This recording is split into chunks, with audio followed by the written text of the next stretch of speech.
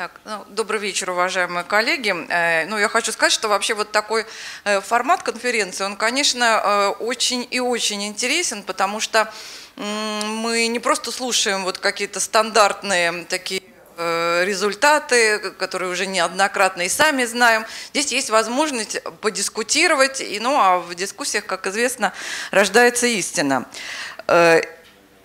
Сейчас вот э, последняя э, тема, которая э, у нас здесь выносится на дискуссию, но э, пока мы дискутировать на самом деле можем очень-очень ограниченно, потому что э, я хочу сказать, что э, о чем мы должны помнить. У нас первый э, таргетный препарат для лечения почечно-клеточного рака был зарегистрирован, по-моему, э, сарафиним в 2005 году. Сегодня у нас 2016 год. То есть опыт использования антиангиогенной терапии уже составляет более 10 лет. И, конечно, э, уже за, за это время проведено такое огромное количество клинических исследований, что, в общем-то, можно было бы уже на все основные вопросы бы и ответить. Ну, а получили ли мы ответы на эти вопросы? Э, так, сейчас. Ну, безусловно, э, конечно, если мы сравниваем э, тот вклад, который внесли онкогенные препараты в лечение метастатического рака почки, то э, ну, значимость его для пациентов, страдающих заболеванием, конечно же, мы не можем недооценивать. Это как мы видим, как минимум 10%, 10 месяцев прибавка к общей выживаемости. И э, здесь мы видим такое, э, после появления первого суннитиниба, такая, в общем, определенная эйфория э, присутствовала, потому что действительно было показано, что э, и высокую э, значимость этой мишени, о которой говорил Илья Валерьевич, именно для метастатического почечно-клеточного рака, и практически каждый год мы видим э, появление нового препарата. Илья Валерьевич, а можно тебя на секундочку вот мне здесь просто, чтобы покрупнее было, а то тут э, какой-то вот не вот такой режим, а вот просто нормальный. Не, не бывает, да? Ну ладно, хорошо все. Да, ну и последний э, препарат был зарегистрирован в 2012 году, то есть уже 4 года назад. И дальше пока вот э, до последнего момента оставалась тишина. Э, почему? Э, потому что все то, что э, тирозинкиназные или другие ингибиторы малых молекул смогли уже привнести в лечение метастатического рака почки, они это сделали.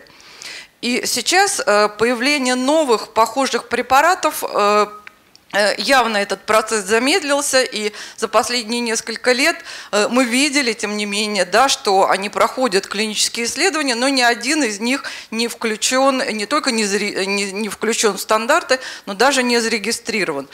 Создается впечатление, что потолок э, своей эффективности вот эта группа препаратов достигла. Но решили ли они проблему лечения метастатического почечно-клеточного рака? Мне кажется, совершенно что нет. Потому что э, рефрактерность к тиреотинкиназным ингибиторам возникает практически у каждого пациента. Это требует э, э, смены терапии. Что, что мы видим вообще, какая, какая инфективность? Вот э, Илья Валерьевич сказал, что э, эта мишень присутствует у, э, в 100% опухоли. Но ведь мы знаем, что таргетные препараты практически никого не излечивают. Частота объективных ответов очень-очень невелика. Да даже, вернее, э, полных ответов. Даже частота объективных ответов складе в первой линии это 40%. По идее, если бы, я нисколько не отрицаю значимость вот этого сигнального пути VGF, но если бы это было единственное, так сказать, основной вот такой путь э, в развитии почечно-клеточного рака, то, конечно, мы бы имели э, более э, высокую и эффективность, и длительность ответа. Таким образом, э, да, у нас э, существует э, несколько препаратов, но до сих пор у нас, тем не менее, предсказательные маркеры эффективности отсутствуют. И на самом деле мы не можем заранее определить, а у кого будет эффективен там сунитинип, сарафинип или веролимус. Мы начинаем лечение, и оцениваем его результаты. Это в пользу, так сказать, такой И также, смотрите, 14 лет лекарственной терапии э, антиангиогенными препаратами. Тем не менее, оптимальная последовательность лечения не, э, не определена на сегодняшний день. И те многочисленные исследования по последовательному использованию препаратов, они то, до сих пор вызывают дискуссии.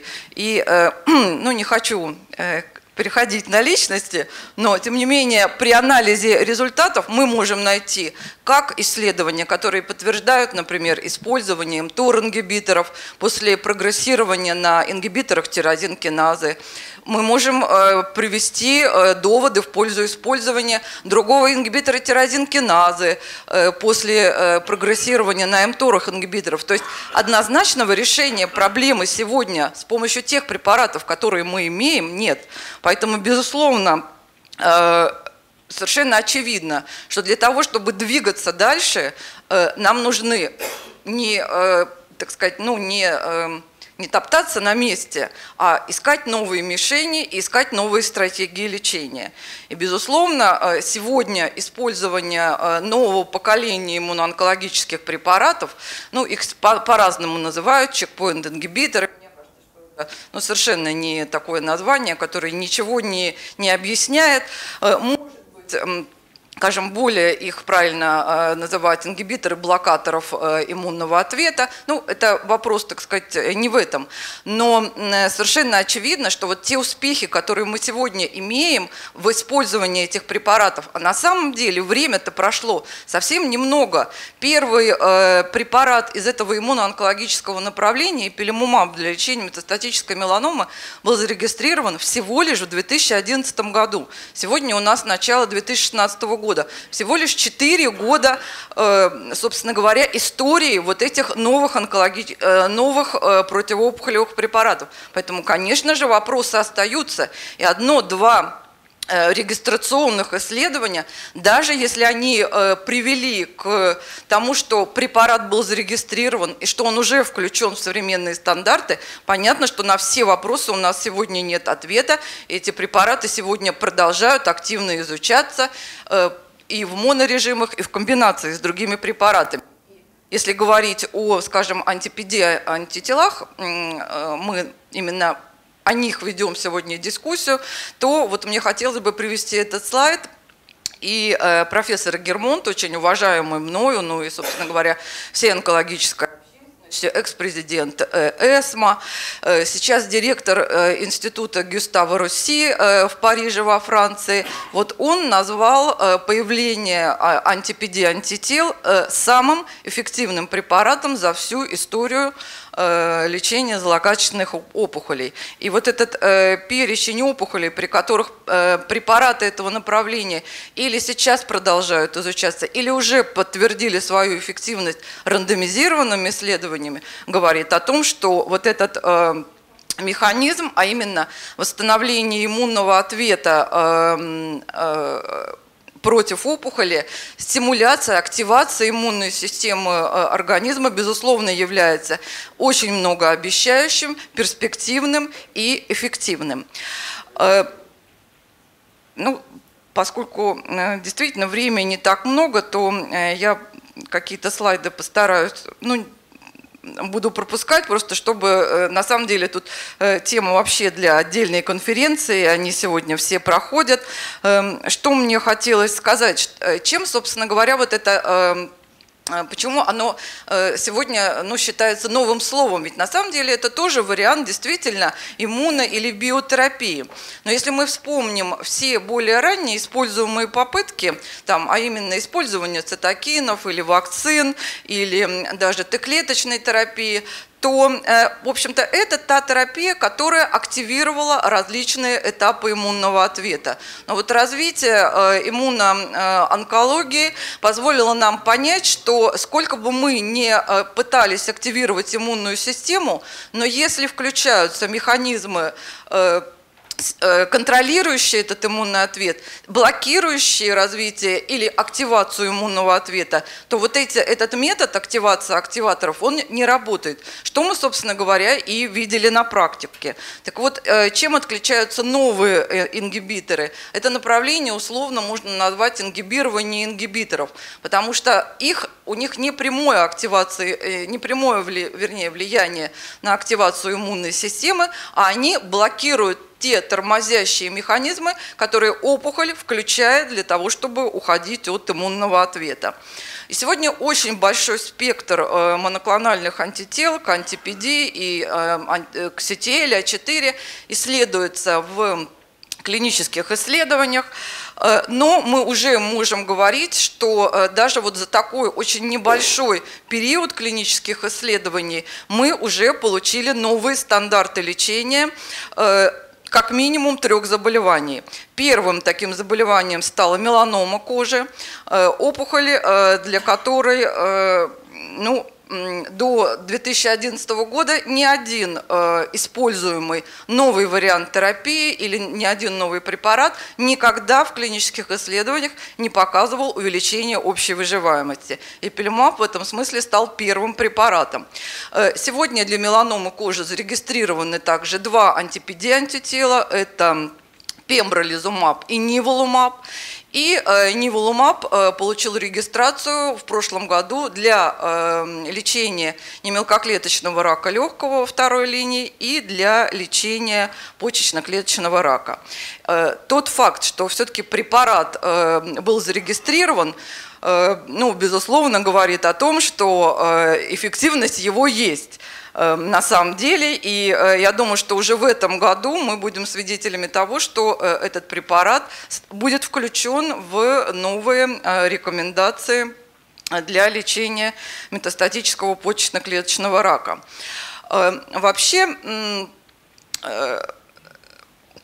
действительно, э, ну, все наши попытки э, уложить э, или объяснить механизм действия противоопухолевых препаратов, конечно же, носят очень и очень условный характер, потому что на самом деле и развитие и регуляция иммунного ответа, так же как и развитие опухоли, это очень и очень многогранный, многоступенчатый процесс, поэтому вот все такие картинки, конечно, они очень условны, безусловны.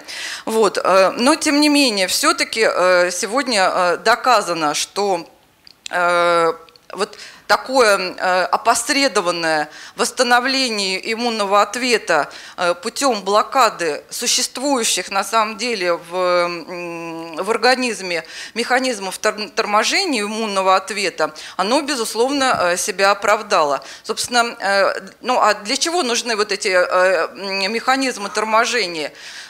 Конечно же, э, иммунный ответ э, – это э, годами уже, вернее, тысячелетиями эволюционно были сформированы такие тормозящие пути или регулирующие пути для того, чтобы после того, как иммунный ответ, так сказать, достиг своей цели для того, чтобы его прекратить и не допустить разрушения организма. Поэтому, конечно, это очень важные Э, очень важные механизмы, э, работающие, постоянно работающие э, в жизни.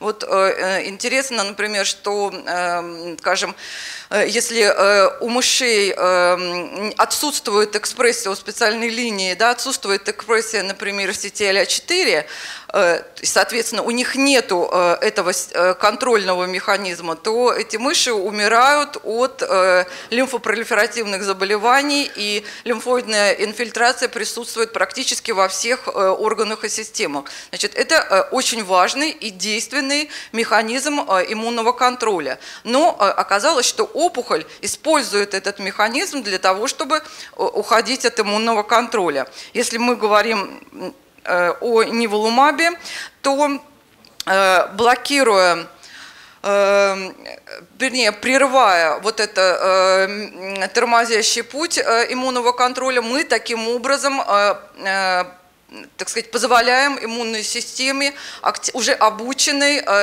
позволяем реагировать и уничтожать клетки опухоли. По поводу PDL-1, ну, мне хотелось бы сказать, что вообще на самом деле это известный это известный прогностический Э, маркер и экспрессия, если опухоли, в частности почечно-клеточный э, рак, экспрессирует PDL-1, это э, характеризуется значительно худшими показателями выживаемости и даже эффективностью таргетной терапии.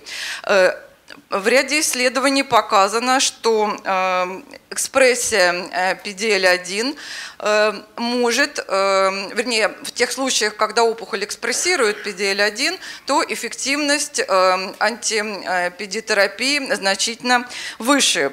Поэтому теоретически этот Экспрессия этого леганда может служить таким предсказательным фактором для оценки э, эффективности терапии. Но э, пока сегодня, э, тем не менее, недостаточно данных для того, чтобы говорить о, значи о значимости этого, этого экспрессии этого леганда.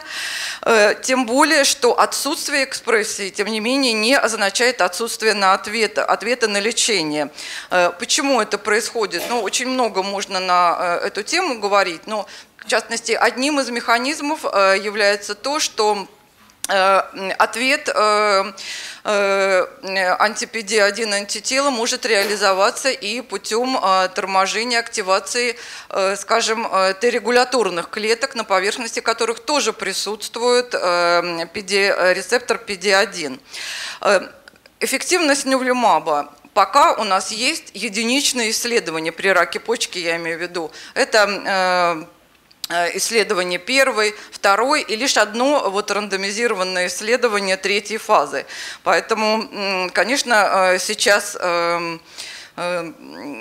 наверное, пока мы не знаем вообще всей потенциальной силы и, и положительных моментов и недостатков э, этого лекарства, но это ни в коей мере не умаляет уже э, тех данных по эффективности этого препарата, которые мы имеем сегодня.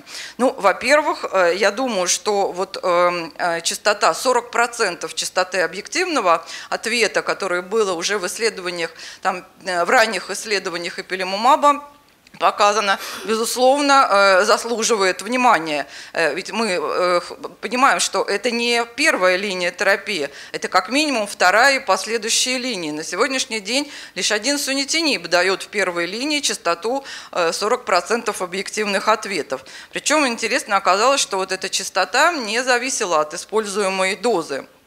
Эм, э, исследование первой фазы э, изучалось э, и выживаемость без прогрессирования, общая выживаемость, и тоже были для, опять же, для второй и последующих линий. Вот это вот очень важно помнить, что это не первая линия терапии и достаточно приличные показатели выживаемости без прогрессирования, 7 месяцев сравнимые с показателями тирозинкиназных ингибиторов, но самое главное, были показаны высокие показатели медианы общей выживаемости, э, которая достигала 30 месяцев. Опять же, во второй и последующих линиях. Эм, во второй фазе было показано, что вот э, если э, частота объективных ответов не зависит от дозы, то вот общая выживаемость, она напрямую зависит от дозы препарата и также Э, э, полученные показатели медиана общей выживаемости 25%, они э, ну, значительно лучше, чем все то, что до этого мы видели на использовании ингибиторов тирозинкиназы. Исследование, регистрационное исследование, где неволумаб сравнивался с веролимусом. Еще раз хочу обратить ваше внимание на то, что препарат использовался во второй и третьей линии терапии. То есть все пациенты получили или одну, или две линии стандартной э, терапии. Э, по э, частоте, ну вообще по э, собственно, кинетики формирования длительности ответа. Мы знаем, что, еще раз хочу напомнить, что у препарата нет непосредственной противоопухолевой активности и его э, эффективность, склад, э, собственно, может реализоваться после, только после того, как э, запускается и активируется иммунный ответ. Но вот тот факт, что у большинства пациентов уже при первой оценке ответа на 12 неделе у значительного количества пациентов был зарегистрирован ответ на терапию, э, значительно отличает, скажем, э, этот препарат, например, от эпилемумаба, где э, Э, время для реализации противоопухолевого ответа должно быть значительно больше. И также посмотрите, вот все э, вот эти пациенты, где э, мы видим стрелочки, это все пациенты, ответ которых продолжался. То есть очень важная особенность терапии, что если ответ, противоопухолевый ответ достигается, то он может продолжаться, продолжаться и продолжаться. В этом плане, конечно, частота вернее, э, оценка выживаемости без прогрессирования – это не самый э, оптимальный критерий для оценки противоопухолевого ответа. Это уже сегодня хорошо понятно. Э, на самом деле частота скажем, и псевдопрогрессий, и вот такого промежуточного прогрессирования она, эта частота от исследования к исследованию меняется, но это есть цифры и 10%, и 20%. То есть вот такое промежуточное прогрессирование заболевания – это особенность э, э, действия именно этой группы препаратов, и э, именно поэтому медиана выживаемости без прогрессирования является оптимальным методом. А вообще-то говоря, ведь какой эффект на самом ведь что мы ждем от противоопухолевого лечения? Самое главное, мы мы ожидаем, что это приведет к увеличению общей продолжительности жизни. И исследования с антипеди-антителами это, э, это демонстрируют. Э, если мы э, рассмотрим вернее, э, посмотрим на эффект э, на общую выживаемость в различных подгруппах, то увидим, что во всех э, изучаемых подгруппах, независимо от прогностических факторов, от количества линий противоопухолевого лечения, там, ну, может быть, единственная подгруппа – это пациенты старшей возрастной группы, больше 75%, вот только в этой группе эверолимус показал свое преимущество. Во всех остальных остальных подгруппах преимущество было явно на стороне э, э Неволумаба. Э, причем э, интересно, что э, эффект э, анализ общей выживаемости проводился не только по традиционным критериям, эм, критериям Моцера, но использовались также и вот уже модифицированные критерии прогностические. И также мы видим, что независимо от того, какую прогностическую модель мы использовали, также во всех эм, группах эффект неволумаба на общую выживаемость был э, значительно больше, чем у эверолимуса. Э, э, мы сегодня говорили вот про эти группы риска, и надо сказать, что э, эффективность невлумаба э, отличалась, в, вернее, в зависимости от прогностических критериев, отличалась. Но тем не менее, и, скажем, у пациентов с благоприятным прогнозом на момент анализа данных медиана общей выживаемости вообще не была достигнута. Хотя, тем не менее, вот этот же э, самый хвост кривой, он также здесь прослеживается. На самом деле, да, мы видели, что пациенты получали последующую терапию, но они получали ее и, веролимус, и, и в группе веролимуса. И говорить на самом деле о том, что это стандартная терапия, у нас сегодня есть стандарты только в первой, второй, ну и в третьей линии. Все, больше стандартов нету. Эффективность препаратов в последующих э, линиях терапии очень и очень незначительная. Илья Валерьевич, может быть, Поэтому... стандарты поменяются, потому что здесь 15 лет, а здесь еще только началось, так что не улыбайтесь. Э, а вот если мы, например, посмотрим э, группу плохого прогноза, то здесь мы вообще увидим ну, просто драматические, так сказать, различия в медиане общей выживаемости. А что в группе плохого прогноза? Э, эффективность даже э, первой линии терапии минимальна. Если э, брать эффективность во второй терапии, ну, вообще, на самом деле, сложно даже это оценивать. Эм, так, сейчас. Ну и по поводу, кстати, вот по поводу экспрессии PDL-1. Ну, мне не повезло, потому что я самая последняя, да, и вре времени у меня меньше всех. Но, тем не менее, вот э, все-таки значение экспрессии в этом исследовании было подтверждено э, на, вообще на течение заболевания. Э, значит, если мы сравним э, общую выживаемость у пациентов с экспрессией PDL-1 и в группе пациентов, у которых этой экспрессии не было, то мы увидим, что да, действительно эффективность что, э, что отсутствие экспрессии э, действительно является благоприятным прогностическим фактором. Отсутствие экспрессии. Медиана общей выживаемости для неверолимуса 27 месяцев, в отличие от 21 месяца. Но тем не менее и в, одну, и в этой группе, и в этой э, Неволумаб свои преимущества доказал. Э, дальше рассмотрим такой важный показатель, как качество жизни э, как раз э, э, еще одно э, очень важное такой эффект противоопухолевой терапии, а как пациенты живут. Не так ну, важно, конечно, как опухоль отвечает на лечение, но если это достигается какой-то неимоверной токсичностью, а что мы видим здесь? А мы видим, что, во-первых, пациенты, пациенты лучше себя ощущали на терапии неволумабом, даже несмотря на то, что так сказать, это внутривенные введения, и каждые две недели, да, им, э, ну, они вынуждены были посещать клинику. Но, тем не менее, э, различия в э, качестве жизни, они совершенно, ну, я заканчиваю. Ну, таким образом, я думаю, что уже в этом году мы получим новый стандарт терапии рака почки. И с моей точки зрения, все-таки на сегодняшний день э, уже большой опыт использования онкогенных препаратов не решила проблему лечения почечно-клеточного рака. И те препараты, которые появляются, иммуноонкологические препараты, которые появляются, э, которые, э, результаты исследований которых мы сегодня имеем, это очень ценный вклад в возможности лекарственного лечения пациентов с метастатическим почечно-клеточным раком.